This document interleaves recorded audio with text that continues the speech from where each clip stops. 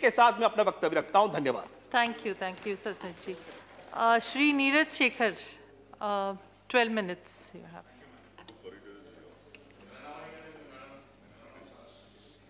मैं राष्ट्रपति अभिभाषण के समर्थन में खड़ा हुआ हूँ। और सबसे पहले जो उनतीस तारीख को जो हुआ अभिभाषण के समय जो 16-17 पार्टियों ने बहिष्कार किया उस भाषण का ये बहुत दुखद घटना है। हम लोग के, मैं जितने भी संसदीय जीवन मेरा हुआ है, उसमें मैंने ऐसी घटना नहीं देखी, जब पूरा विपक्ष राष्ट्रपति के भाषण सुनने नहीं आया। ये एक सरकार के विरोध में नहीं है, राष्ट्रपति जो एक संवैधानिक पद है, सो सबसे सर्वश्रेष्ठ पद है हम लोग के देश का, उसका अपमान है। और मुझे आश्चर्य इसलिए हो रहा और हास्यास्पद इसलिए लग रहा है कि भाषण सुनने तो लोग नहीं आए, लेकिन यहाँ भाषण देने सब लोग उपस्थित हो गए। अपनी बात कहने के लिए सब लोग उपस्थित हो गए। आप लोग आके भाषण दे रहे हैं, और यही बात मैं कहना चाहता हूँ, और यही बात जो मेरे किसान भाई उन सीमाओं पे बैठे हुए, बाहर दिल्ली की सीमाओं पे बैठे हैं, उनसे मैं ये बात कहना चाहता हूँ कि इन लोगों को आप ज़रूर पहचानिए। जो आज सदन में खड़े होकर, कल मेरे कुछ सदस्य माननीय सदस्य लोग ज़ोर ज़ोर से भाषण दे रहे थे कि क्या अन्याय हो रहा है, कितना कष्ट पहुँच रहा है किसानों को किसानों के कष्ट में के बारे में जानते तो जानते कि सरकार ने क्या क्या किया किसानों के लिए? कैसे किसानों की जो ज़िंदगी उसको खुशहाल करा आगे बढ़ाने का काम किया? मुझे, मैं किसान भाइयों से कहना चाहता हूँ कि इनको पहचानिए, ये लोग चाहते हैं। कुछ लोग बोल रहे थे, वो चाहते हैं कि पंजाब में उनकी सरकार आ जाए। कुछ लोग चाहते हैं कि हरियाणा में फिर से वो लोग आ जाए। इसलिए वो लोग यहाँ भाषण दे रहे हैं। आपके उनको कोई संवेदना नहीं है, कुछ नहीं चाहते, वो लोग इसलिए हैं कि उनकी सरकार है, सत्ता में आना चाहते नहीं तो मेरे, मैं चाहूँगा हमारे वरिष्ठ नेता कई चले गए, गुलाम नबी चले गए, आदरणीय दिग्विजय जी हैं, जयराम रमेश जी हैं। मैं और लोगों से भी कहना चाहूँगा, मनोज जी नहीं हैं, उन लोग से कहना चाहूँगा कि आप लोग निर्णय लें अपनी पार्टियों का। जो आपके युवराज हैं, उनके कहने पे चलेंगे तो पार्टी 415 से 40 से पहुँच आई है अगली बार पाँच पे पहुँच जाएगी। इसलिए अपने अपने जो वरिष्ठ नेता उनकी बात सुनिए। हमारे नेता ने लगातार किसानों के लिए काम किया है और दिखाया है उन्होंने काम करके। जितने भी, मैं कहना नहीं चाहता, हमारे आदरणीय मंत्री जी ने सारी बातें कह दी, मैं उसको दोहराना नहीं चाहता हूँ। लेकिन आज आप देश के किसान से तो पूछेंगे, हम, अगर हम मैं बार बार सुन रहा हूँ कि आप बिल्कुल बात ही नहीं सुन रहे? तानाशाह हो गए हैं आप किसी की बात नहीं सुनना चाहते, सरकार किसी की बात नहीं सुनना चाहता। है तानाशाही ये होती है। तानाशाही ये होती है, आदरणीय जयराम रमेश जी 1975 में जब इमरजेंसी लगी थी, हमारे पिताजी 19 महीने जेल में थे। और तानाशाही वो नहीं थी। जेल गए, वो बात दूसरी है। 19 महीने हमसे कोई मिलने नहीं आया। एक आदमी डर के कोई मिलने नहीं आता था। ये तानाशाही होती है। तानाशाही ये होती है, हमारे पूर्व प्रधानमंत्री आदरणीय नरसिम्हा राव जी जब पद से हटे तो उनका घर कांग्रेस मुख्यालय से आधा किलोमीटर भी नहीं था। उनसे एक व्यक्ति नहीं मिलने जाता था। ये तानाशाही होती है। तानाशाही ये नहीं होती है, कल हमारे एक मित्र खड़े होकर हमारे प्रधानमंत्री के बारे में व्यक्तिगत टिप्पणी कर रहे हैं कि उन्होंने दाढ़ी बढ़ा ली, उन्होंने ये कर लिया।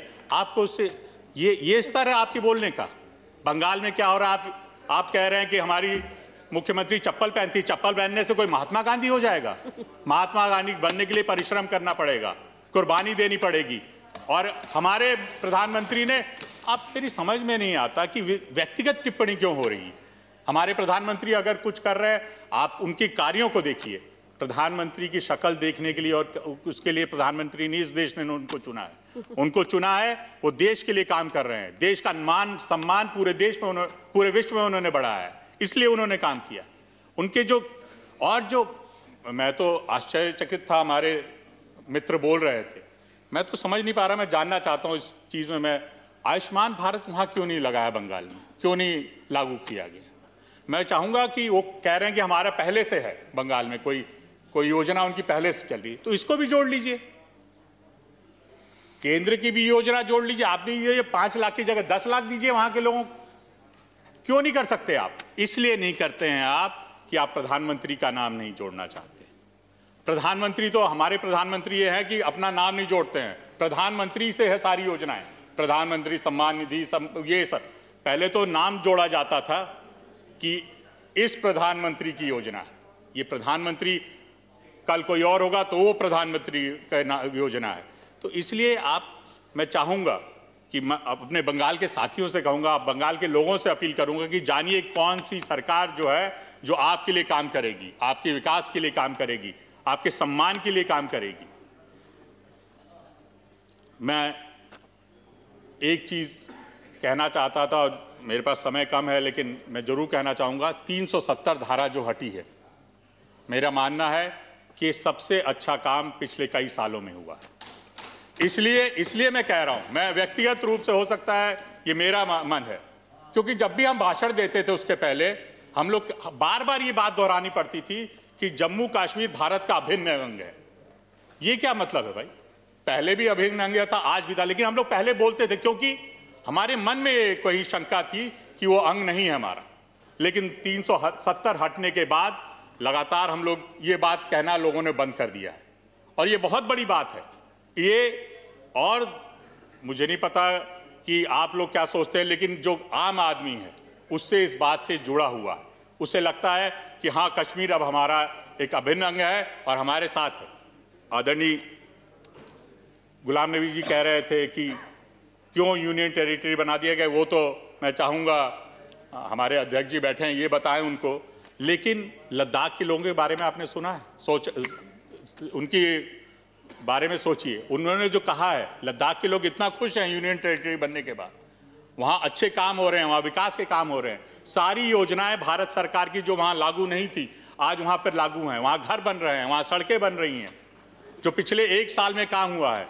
उससे वहाँ के लोगों का जो विकास हो रहा है जो जीवन स्तर बढ़ रहा है वो आप देखिए। मैं अंत में अंत में नहीं अगर मेरा समय अभी है शायद। आप बोले कंक्लूड करें। मैं मैं एक योजना जो माननीय प्रधानमंत्री जी ने कह- कर, शुरू की है, जल जीवन योजना। ये मेरे लिए और हम जिस क्षेत्र से आते हैं, बलिया और जो गंगा के किनारे का इलाका है, जहाँ पर आर्सेनिक पानी की बहुत बड़ी समस्या है।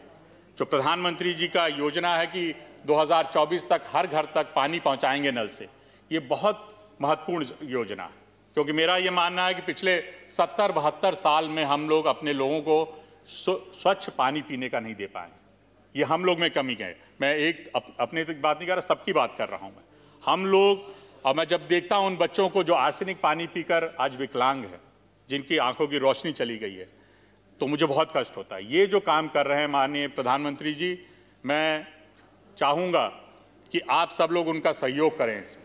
और मुझे लगता है ये बहुत बड़ी योजना है। अगर पूरी होती है 2024 तक तो ये देश के लिए बहुत महत्वपूर्ण योजना होगी।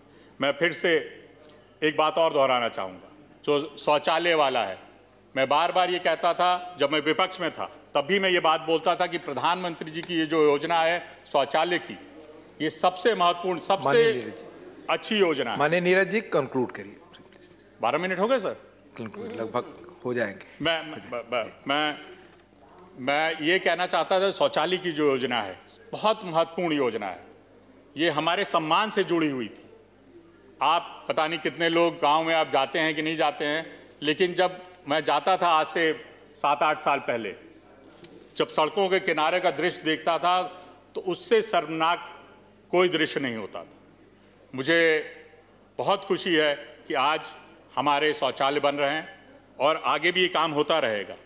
मैं फिर से अंत में एक बात कह के अपनी बात खत्म करूँगा। मैं फिर से किसान जो किसान बैठे हुए हैं और जिनको आपत्ति है, क्योंकि प्रधानमंत्री जी के मन में ये है कि ये समस्या दूर होनी चाहिए। प्रधानमंत्री जी ने बार बार कहा कि मैं, और उसका, मेरी समझ नहीं आता कि हर चीज़ का मज़ाक क्यों उड़ाया जाता प्रधानमंत्री जी ने कहा, मैं एक कॉल दूर हूँ, इसका ये मतलब नहीं कि फ़ोन करिए आप मुझे। प्रधानमंत्री जी का इसका ये मतलब है कि प्रधानमंत्री जी हमेशा तैयार हैं बात करने के लिए, और एक भी किसान अगर दुखी होता है तो प्रधानमंत्री जी को कष्ट होता है। इसलिए प्रधानमंत्री जी ये बात कह रहे हैं। मैं मैं मैं कम से कम कुछ लोग वाह वाह कर रहे हैं। मैं ये कहना चाहता हूँ कि मैं कम से कम अपने बड़े व्यक्ति की, अनुभवी व्यक्ति की बात पे वाह वाह कर रहा हूँ। कुछ लोग जिनको कोई अनुभव नहीं है, जो काम करना नहीं जानता, उनकी बातों भी वाह वाह करते हैं। इसलिए वो ध्यान रखें कि ऐसी बातों को वाह वाह ना करें जिससे देश का नुकसान हो। और ऐसा हो रहा है, आपकी पार्टी का भी नुकसान हो रहा है, देश का भी नुकसान हो रहा है। तो इसको समझें। मैं फिर से आपका आभार व्यक्त करता हूँ। धन्यवाद। Thank you. Uh, Sri Subhash Chandra Bose Pillai ji. I am, I am from Lok Sabha Gallery. Please. Sir.